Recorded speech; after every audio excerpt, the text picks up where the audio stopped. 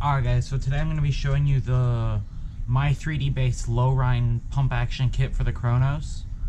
Uh, I recently got this Kronos from a thrift store. I've done minimal mods to it. I gave it the 6 ball mag. I put a K26 in it and I improved all the seals. Um, I have plans for it uh, past the pump kit uh, integration. I'm going to make this into a Chrono mag.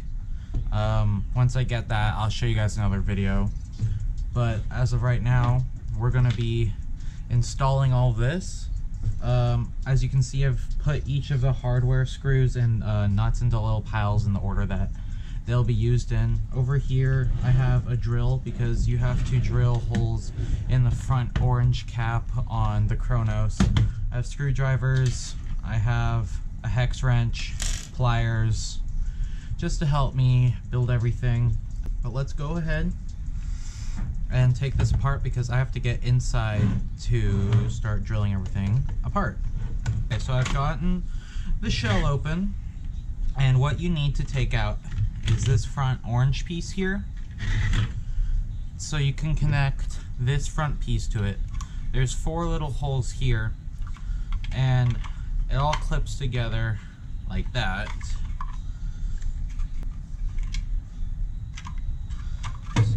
I need to mark the four holes. Should be right here, here, here, and here.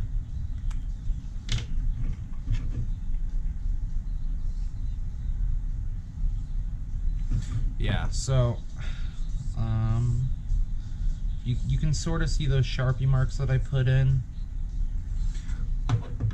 Um, but you can see, that's why I have the drill so I can get the screws in. When I uh, initially drilled the first holes, they were a little off, so I had to widen them a little bit so that they could go into the 3D printed front muzzle. So I'm just going to go ahead and screw those in using these first four screws over here. The They're the longest ones. Alright, so my GoPro actually overheated, so I had to take a break for a second, but we're back to it. We're attaching these side plates on. They sit right here in the screw port for the slide sits right in that curved part, right? Just like that. And I need to mark where to drill. And I'll use this. That should work. So what you need to do now is grab the longer the longer bolts you have here and push them down through these countersunk holes on the top through the shell. Beautiful. All right. And you're going to want to take these nuts and screw them onto the bolts through the back of the shell.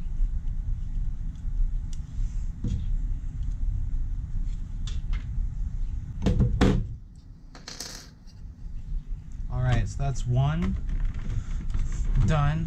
And you do the same thing to the other side with this one. Again, the little curved part allows access to the screw port right there. I'm going to mark them up again and then drill. Alright, so as you can see, I have the two side plates attached. And I'm going to screw up this side, the slide, onto the blaster. now I've got the slide on, next step is to attach these onto the shell here. Using these little small pointed screws. Everything's all already uh, have holes in it so you don't have to do any of that yourself.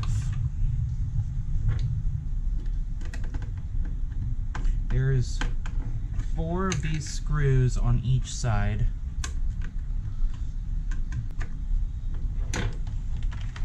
Alright, one side on. And now Other side, same thing. Four little pointed screws. Alright, I have both of the little guide rails on. Next step is to take the pump arms and attach them to the pump. Yeah, yeah, like this.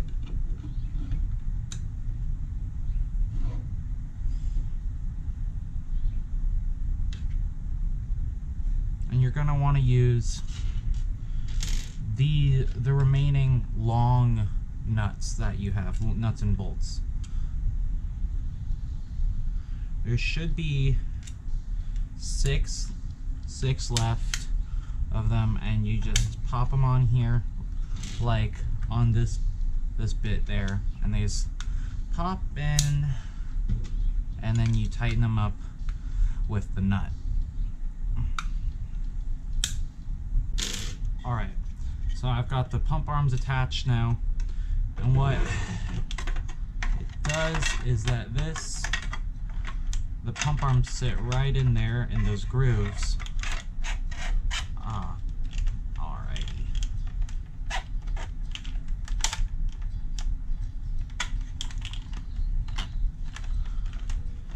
Let's just click everything into place.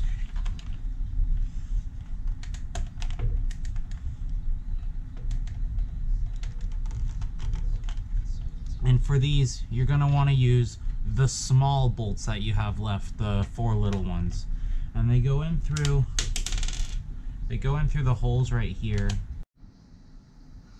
All right, guys, so, um, I forgot a step.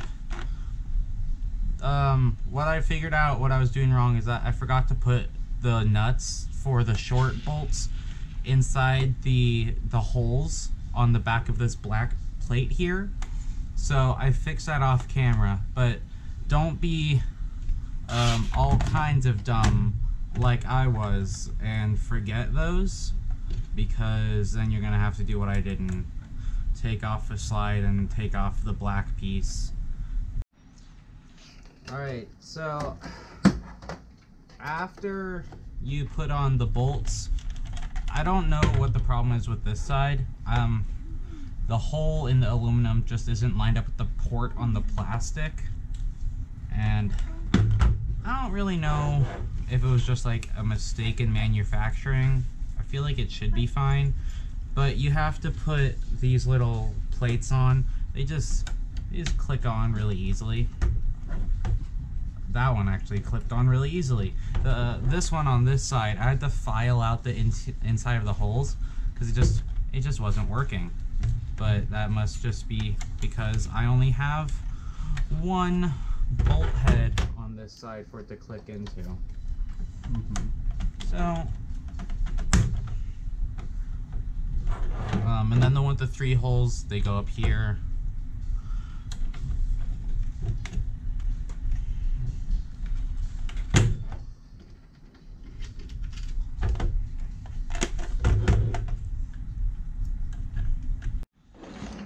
Alright, so I put the faceplate on and whole thing's done. Um, it won't, it won't really catch. I don't really know why. I need to get into that in a little bit. But uh, it should be fine.